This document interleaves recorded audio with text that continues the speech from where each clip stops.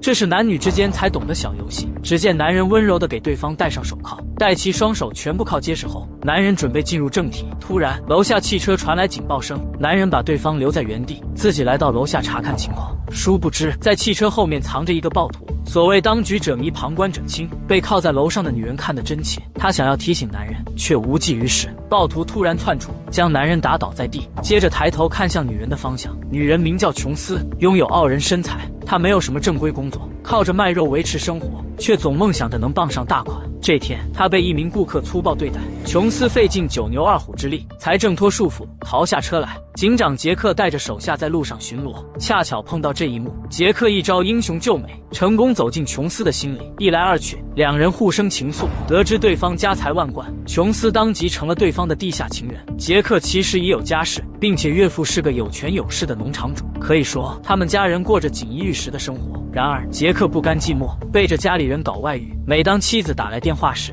他通常都以工作为由搪塞过去。由于种种原因的限制，杰克和琼斯见面次数很少，所以想要约会，只能前往这栋偏远隐蔽的别墅。而且为了安全起见，杰克会事先制定一系列方案，甚至会派出自己的司机将琼斯悄悄带到此地。这天，司机开车将琼斯送到别墅，临走时还将大门用铁链锁住。琼斯没有多疑，来到屋内，他不断呼唤着杰克的名字，对方始终没有出现。琼斯也没闲着，独自一人来到泳池玩耍。过后，听到室内传来钢琴声，他闻声而去，看到杰克正在弹钢琴，优美的琴声将现场的氛围推到高潮，两人随即缠绵在一起。然而，这样的美好时光还没过去多久，杰克的妻子打来电话，询问对方什么时候回家。杰克再次搪塞过去，心头不免担忧起来，他害怕琼斯会露出马脚。可对方表示，在来的路上完全都是按照杰克的指示进行的，不可能会被其他人发现。杰克这才放下心来，吃饱喝足，两人准备步入正题。没想到，一位不速之客突然出现。这名暴徒先杀掉杰克的司机，接着制造出汽车噪音，将杰克引诱下来。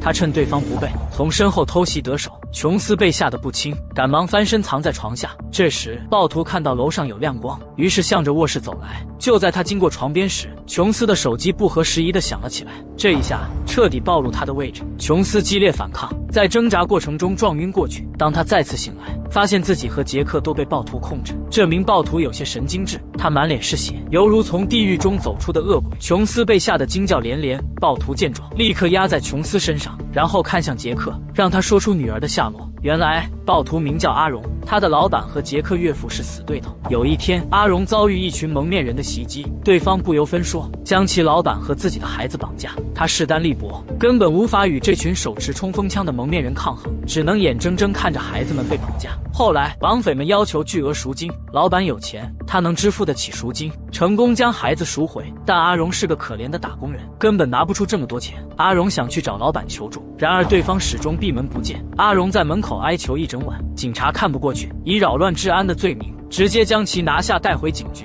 此时的杰克满脸是血，却依旧没有将阿荣放到心上。他认为岳父是幕后黑手，阿荣的所作所为不过是听从对方的命令罢了。杰克在结婚之前就见识过岳父的品行。那天晚上，杰克带着准岳父行驶在通往农场的小路上，并且说了许多富有哲理的话。杰克那个时候还很年轻，没能领悟其中的真谛。岳父让他在前方停一下车。这时，从树林中钻出三个男人，他们手持武器，看上去非常凶狠。杰克准备做出接敌姿态，岳父却说这是自己人，于是让杰克回避一下。他们有要事相商，杰克不敢不从。他来到车尾，想要偷听对方谈话，不过对方说话声音很小，杰克什么都没听见。不一会儿，岳父让杰克上车，并紧跟对方的步伐。杰克心生好奇，询问刚才在说什么。岳父表示，一会儿你就懂了。当汽车转过拐角，来到岳父的农场时，杰克被眼前的一幕吓得大惊失色。只见刚才三名男人对着农场看守重拳出击，不一会儿，农场便陷入火海之中中。杰克不明白岳父这样做的目的，对方表示。他最近见农场守卫太过懒惰，所以才出此下策，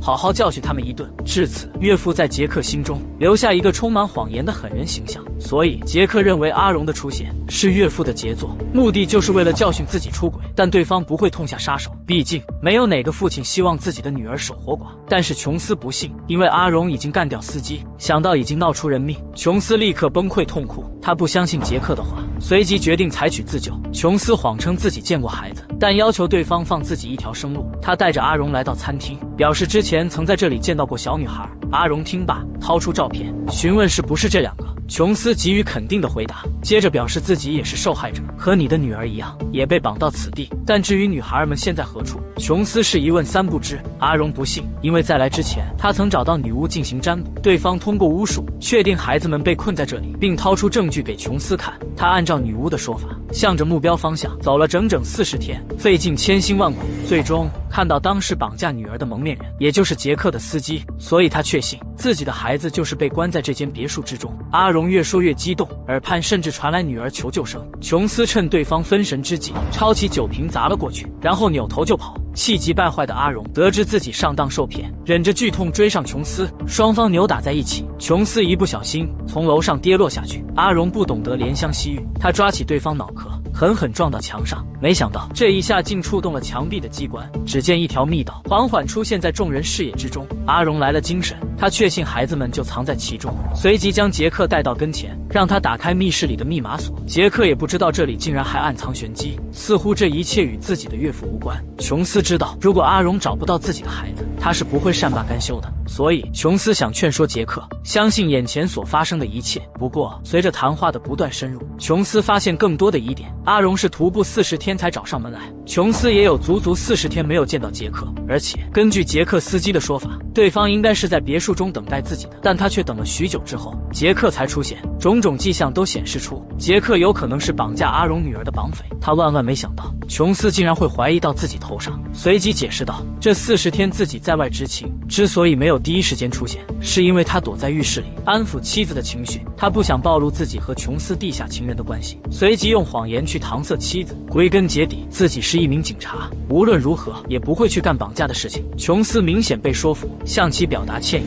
不过他还是很好奇，那扇门后到底隐藏着什么。杰克表示，这个别墅非常隐蔽，岳父在和其他企业家商谈项目时，都会把他们带到这里。至于谈什么业务，绑架也好，贩卖器官也罢，他根本不知情。保持糊涂才是杰克的人生真谛。不过他是装糊涂，而不是真傻。根据岳父的习惯，他轻而易举猜出密室门上的密码。大门打开，里面空空如也。或许阿荣已经做好孩子遇害的准备，但这里什么都没有，很明显超出对方的心理预期。他悲伤地趴在地上，不停地拍打着地面。琼斯上前安慰，杰克则悄悄来到对方身后，捡起地上的手枪，一枪带走阿阿荣。事后，杰克一直想要说服琼斯，阿荣不过是个瘾君子，因为用药过度才出现异想的症状。琼斯根本不信他的说辞，质问对方被绑架的孩子究竟在哪。杰克没有明确表示自己是绑匪之一，但从其字里行间中能感受到，他确实曾参与其中。这时，琼斯想要维护正义，但之前他却是一个贪财之人。正是因为这些金钱，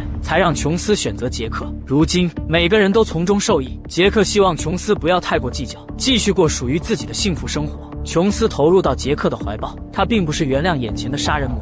而是趁机拔出其腰间的手枪，然后把枪口对准杰克。琼斯没有犹豫，果断扣下扳机，发现手枪卡壳。杰克没想到对方竟然真的动了杀机，随即勒住琼斯的脖子。琼斯反手去抠对方眼珠子，这才挣脱束缚。他逃上二楼，将卧室门堵住。杰克一枪打坏门锁，然后破门而入。见琼斯还想逃跑，他抬手就是一枪，琼斯中枪倒在地上。杰克把他抱到后院，准备将其埋在这里。琼斯环顾四周，发现阿荣女儿的遗物，更加确信杰克就是绑匪之一。他从袖子里掏出螺丝刀，狠狠扎在杰克身上，然后用女儿的遗物完成反杀。他带着遗物以及阿荣女儿的照片，坐上汽车，撞破铁门。向山下驶去，故事就此落下帷幕。本片名叫《秘密关系》，故事里的人物并没有把角色塑造的很丰满，他们不像是一个个有血有肉的人，只是被编剧强行摁着脑袋演戏罢了。演员的演技是这部影片最大的问题，也是无法接受的地方。女主应该是从一个拜金女，在经历阿荣的绑架案后，逐渐认清事情真相，最后实现自我救赎。然而，演员并没有将她的心路变化表现出来。除了演技之外，该片的故事情节上也存在许多问题，比如女巫占卜指路。女主中枪还能开车，这些都是小问题。最主要的还是阿荣和其老板以及杰克岳父之间的矛盾冲突究竟是什么？影片中没有给出答案，这使得整部影片中一些角色的动机和做法显得非常突兀。总体而言，这部片子没有多少看点，唯独女主角的颜值稍微算是本片的亮点。看到这里的小伙伴们，欢迎点赞、评论和收藏，你们的支持才是我们更新的动力。